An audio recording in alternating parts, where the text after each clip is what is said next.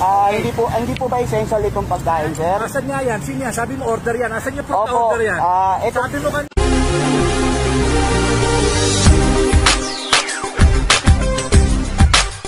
Oh, so guys, ah, magandang hapon mga kapatid. Kung viral ngayon si Lugaw, si Lugaw Boy, ah, baka ito naman mag-viral. Kung makikita ninyo, essential po yung pagkain ko. Pagdidiskusyonan po namin ulit kung essential ba talaga yung cake o hindi. Ang katwiran po ng pulis na to, sabi niya po sa akin, pwede naman daw po mabuhay ang tao maski walang cake. Ang lugaw daw po, ganun din.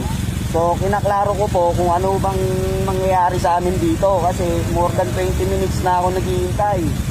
So, hanggang ngayon, wala pa silang panikit. Sabi ko, tikita na lang kami para makaproceed na kami sa next destination. Pero ang nangyayari, pinuhold kami dito. Hihintayin daw po nila yung panikit nila.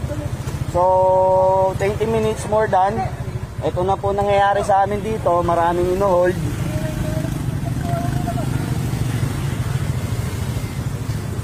Si Ate Rain, shout out naman dyan. Ano bang ano mo?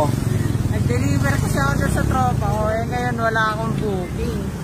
Tapos Oo. inaano, wala, wala daw akong proof pero meron akong certificate na pwede akong mag-deliver. Kasi ako isang rider ako ng ano, Oo. Mr. Speedy. Okay. Uh, wala nga na akong proof na ano kasi pinay-wait ng tropa ko eh. Ah, okay. Cake powder. Asan yung cake powder mo? Hindi po cake powder to sir. Ah, mga ga- guys, ito po ah. Oh guys, sira ko ito. Essential daw, may nag-order. Wala naman ako ma-order niyan. Ah, okay. So, guys, pasensya na. Si Raulo daw po ako. So, hinihintay ko na lang yung ticket ko, sir, mga ma'am, na isuan nila ako pero until na wala pa. So, ayun, i- ayun, oh, i-hold down nila ako, guys. Dadalhin ako sa City Hall. Di papalaran na lang to kung ano sasabihin namin. By the way guys, meron akong lisensya, meron akong proper documents, may quarantine pass ako. So, tignan natin, update. Bagong journey to sa atin guys.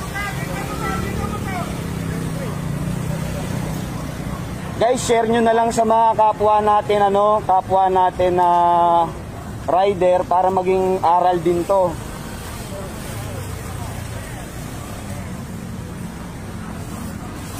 Sir, excuse me po. Ah, live live po tayo, sir. Alam mo pare, bawal yung ginagawa Ah, mo. hindi, Ha? sir. Wait Yung lang po. tama, ha? Bakit Oh, po ako sige. naging sira Oh, ulo, dahil sir? mag-live tayo ha, Oo. naka-live ka. Oh, sige, sir. Ang tinapayagan na sa labas is essential travel. Okay po. Quarantine pass mo, ito. Okay po. Ang barangay. Wala Okay. kami pakialam sa lisensya mo. Hindi ka namin hiningihan ng Okay lisensya. po. Hindi ka namin hiningihan ng ah, ORCR. Okay, sir. Wala kaming kahit na anong ah, violation sa traffic na inaano Okay sa'yo. Ang Opo. violation mo is violation of quarantine, pa, quarantine protocol. Okay po. Na hindi ka dapat nasa labas kasi hindi ka essential ang labas mo. Opo, ah, hindi po hindi po ba essential itong pagkain, sir? Asan nga yan? Sino yan? Sabi mo order yan. Asan yung na Opo, order yan? ah, ito- Sabi mo kanina, negosyo mo yan.